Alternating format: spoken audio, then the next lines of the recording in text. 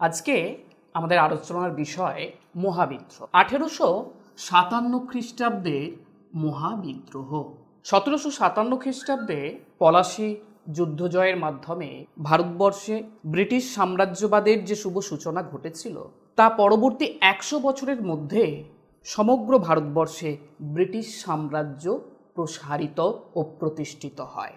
এই ব্রিটিশ সাম্রাজ্যের প্রসারিতকরণের ফলে ভারতবর্ষে ব্রিটিশ সাম্রাজ্যবাদের বিরুদ্ধে জনরোষের সৃষ্টি হয়।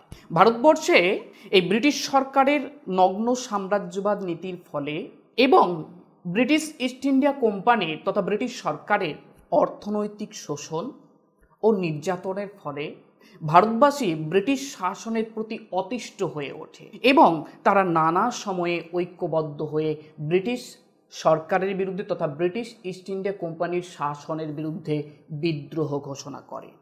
সেই রকমই একটি গুরুত্বপূর্ণ বিদ্রোহ হল আঠেরোশো সাতান্ন খ্রিস্টাব্দের মহাবিদ্রোহ। প্রথমেই আমরা আসব এই মহাবিদ্রোহের কারণ। মহাবিদ্রোহ কেন শুরু? সবসময় মনে রাখতে হবে যে কোনো একটি ঘটনা যখন ঘটে, তার বহু আগে থেকেই সেই ঘটনার বিরুদ্ধে জনরোষের সৃষ্টি হয়।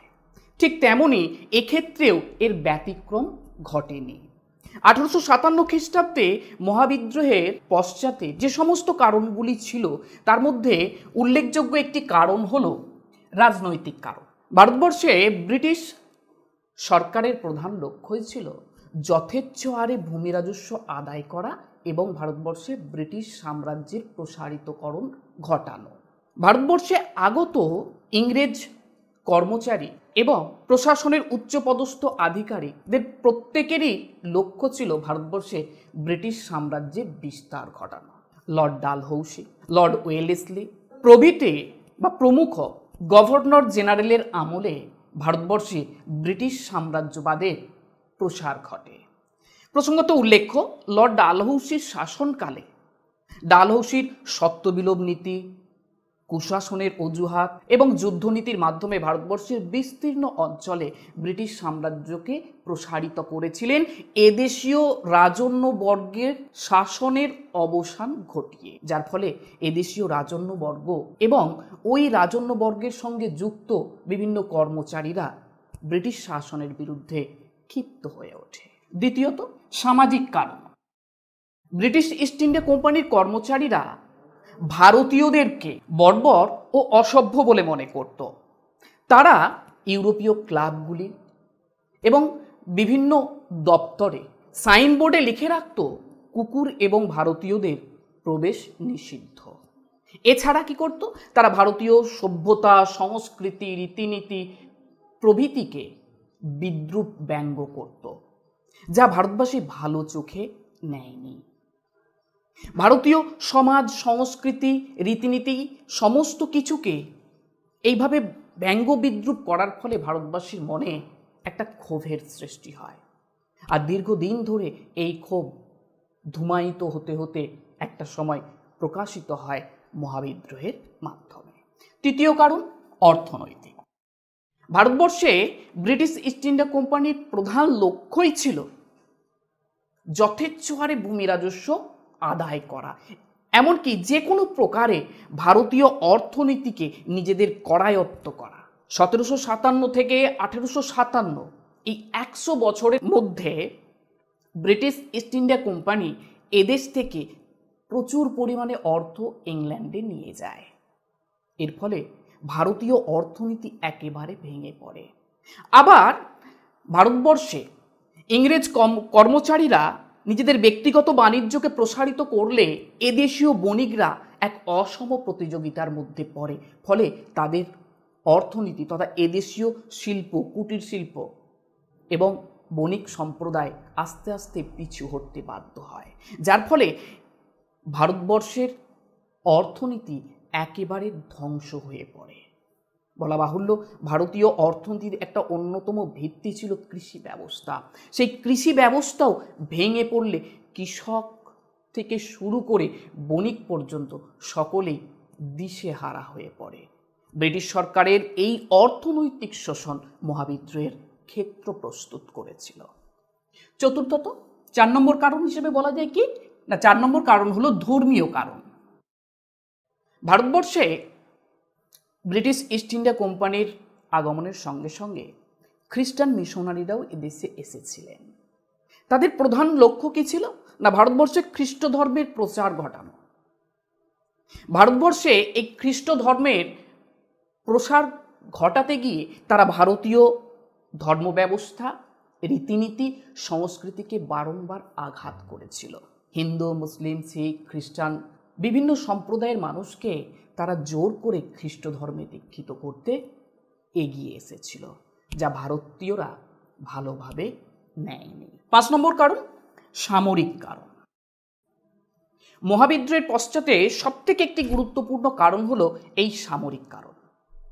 ভারতবর্ষে ব্রিটিশ ইস্ট ইন্ডিয়া কোম্পানি তাদের সাম্রাজ্যকে প্রসারিত করেছিল মূলত ভারতীয় সেনাবাহিনীর হাত ধরে। এবং ভারতবর্ষে ব্রিটিশ সাম্রাজ্য বিস্তারের মূল স্তম্ভই ছিল ভারতীয় সৈন্যবাহিনী। ভারতীয় সৈন্যবাহিনী যদি না থাকতো, তাহলে ভারতবর্ষে ব্রিটিশ সাম্রাজ্য বিস্তার করা সম্ভবপর হতো না। উল্লেখ্য, ভারতবর্ষে ব্রিটিশ ইস্ট ইন্ডিয়া কোম্পানির সেনাবাহিনীতে মাত্র এগারো শতাংশ ছিল ইংরেজ, বাদবাকি সবাই ছিল ভারতীয়। তথাপি ভারতীয় সৈন্যবাহিনীর ওপর ব্রিটিশ ইস্ট ইন্ডিয়া কোম্পানির কর্মচারী তথা ইংরেজ সৈন্যবাহিনীর কুরুচিপূর্ণ মন্তব্য, ধর্মকে নিয়ে নানা রকম কথাবার্তা ভারতীয় সৈন্যবাহিনী ভালো চোখে দেখেনি। এছাড়া ভারতীয় সৈন্যবাহিনীর অন্তর্গত বিভিন্ন সেনার দক্ষতা, যোগ্যতা থাকলেও তাদের কোনোদিন পদোন্নতি ঘটত না। অন্যদিকে, ইংরেজ কর্মচারীরা অদক্ষ হওয়া সত্ত্বেও তাদের উত্তরোত্তর পদোন্নতি ঘটত। দু নম্বর, ভারতীয় সেনাবাহিনীদের নির্দিষ্ট সময়ে বেতন প্রদান, খাবার প্রদান, প্রভৃতি ক্ষেত্রে ব্রিটিশ ইস্ট ইন্ডিয়া কোম্পানির শোষণ ভারতীয় সেনাবাহিনীকেও ক্ষুব্ধ করে তুলেছিল। এবং তারা দীর্ঘদিন ধরে ব্রিটিশ কোম্পানির শাসনের বিরুদ্ধে ক্ষোভে ফেটে পড়েছিল। তারা দীর্ঘদিন ধরে ব্রিটিশ শাসনের বিরুদ্ধে ক্ষুব্ধ হয়ে উঠেছিল। এই পরিস্থিতিতে ব্রিটিশ সেনাবাহিনীর মধ্যে বা ব্রিটিশ সেনাবাহিনীতে এনফিল্ড রাইফেল নামে একটি নতুন বন্দুকের প্রবর্তন হয়। আর এই এনফিল্ড রাইফেল বন্দুকের প্রবর্তন মহাবিদ্রোহের প্রত্যক্ষ কারণ রূপে কাজ করেছিল। প্রত্যক্ষ কারণ কি ছিল? এনফিল্ড রাইফেলের প্রবর্তন।